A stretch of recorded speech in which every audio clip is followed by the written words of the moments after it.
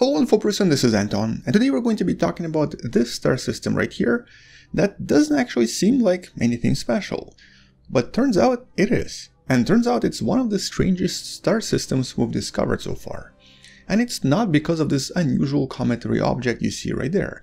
That's just a planet being evaporated because it's just way too close to the star. The strangeness of the star system comes from this recent discovery that suggests that one of the planets orbits in an extremely unusual way, it has a very strange polar orbit, something that's never been seen before in such a way, with the orbits sort of being like this. So let's discuss this in a little bit more detail, including potential explanations for how such a star system could be formed, and more importantly, how all of this was discovered and what this means for astronomy.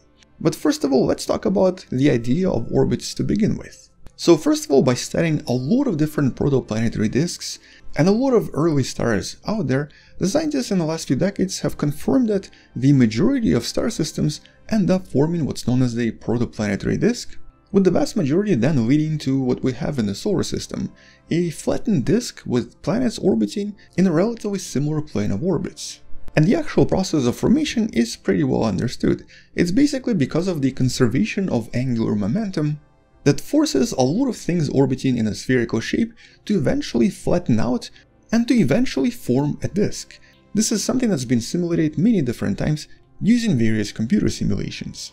And after this, all of these flattened disks eventually start forming coalescing shapes which then turn into planets, with the vast majority of planets having relatively similar inclination.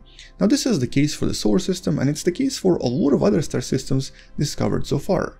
One of the best examples is of course TRAPPIST-1 system. The seven planets of the TRAPPIST-1 are pretty much in the exactly same inclination, which is exactly why it was possible to see all of them orbiting in front of the star. This is basically how all of them were discovered. But naturally, you could still have some inclination differences here and there. And generally, the farther away from the star, the more inclination the object is going to experience, most likely due to the effects from a lot of other objects outside of the solar system. But in this case, it's still kind of difficult to imagine a star system where instead of having the same plane of orbit, at least one of the planets seems to be in a completely different polar orbit. So sort of like what you see right here, an orbit that's basically perpendicular to the rest of the star system. And turns out that this is exactly what the scientists have recently uncovered.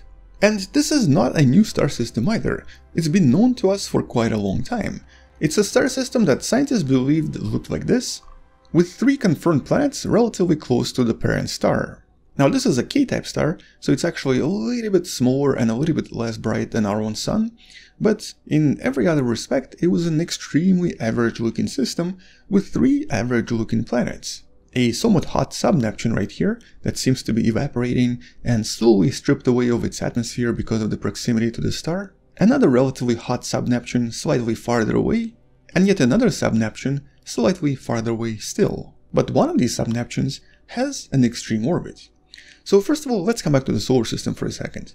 Even though for the most part the planets seem to be in a relatively similar plane of orbit, there are some other objects like asteroids or things like Centaurs or minor planets that do have relatively large inclination. Some of them are practically polar in their orbit, and there are at least two well-known examples, 2008 YB3 and 2004 YH32. Both of these objects have a relatively polar orbit, with one of them having approximately 80 degrees and the other one being in the opposite direction approximately 105 degrees. Which means that compared to the other objects in the solar system that have a relatively flat inclination, these two objects have a relatively high inclination, but at the same time they also seem to have a relatively high eccentricity as well. And this does explain how they could acquire such an unusual orbit over time.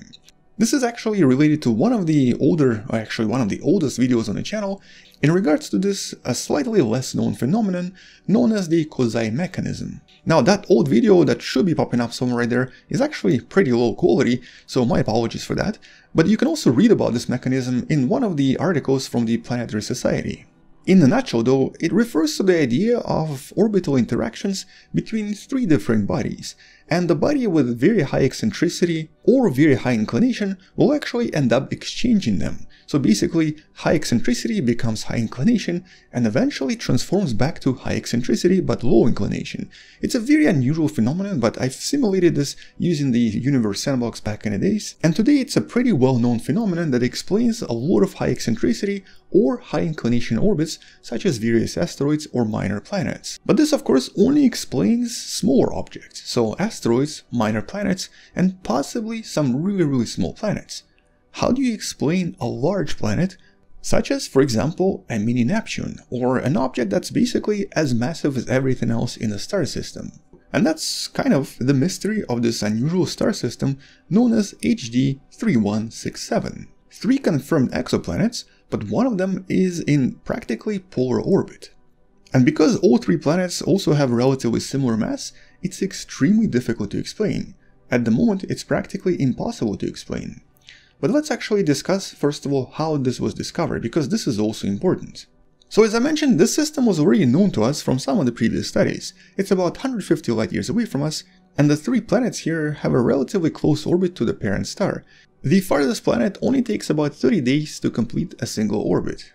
And that planet right in the middle, with a mass of about 7 masses of planet Earth, has an orbit of about 8.5 days. That's the planet with that strange orbit.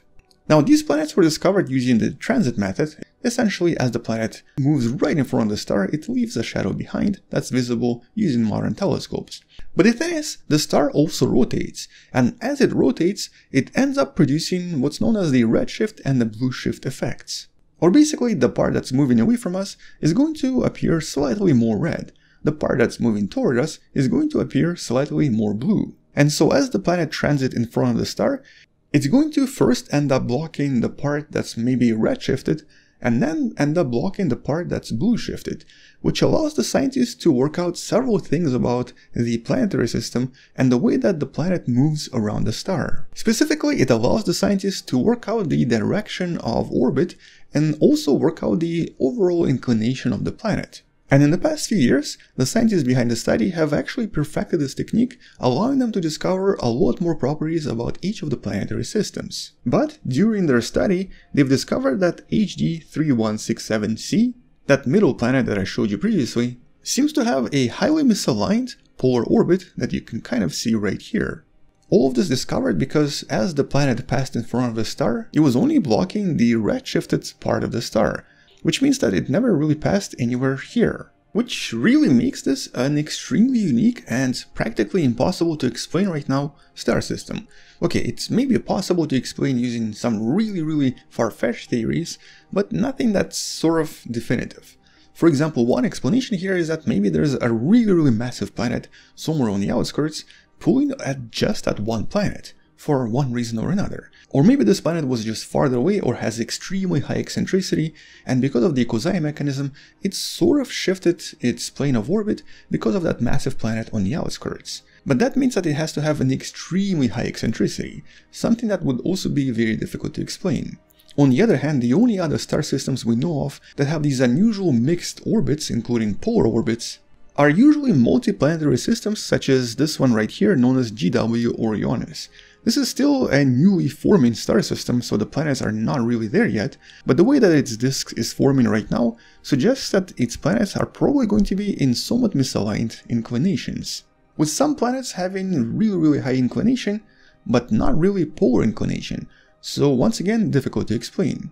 And also at the same time, these are multi-star systems, so it's a little bit easier to explain here because of the interaction between the stars. HD 3167 just like our Sun is the only star in the system.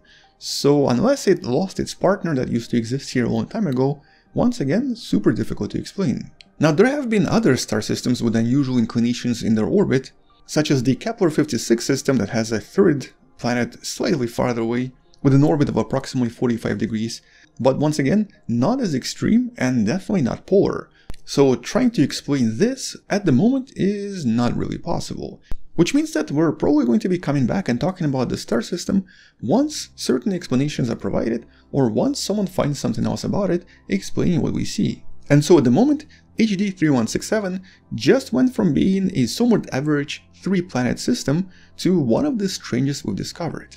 But I guess for now, that's pretty much it. Check out all of the relevant links in the description below, subscribe if you still haven't, share this with someone who loves learning about space and sciences, and maybe come back tomorrow to learn something else. Maybe support this channel on Patreon by joining a channel membership or by buying the wonderful person t-shirt you can find in the description. Either way, stay wonderful, I'll see you tomorrow, and as always, bye bye.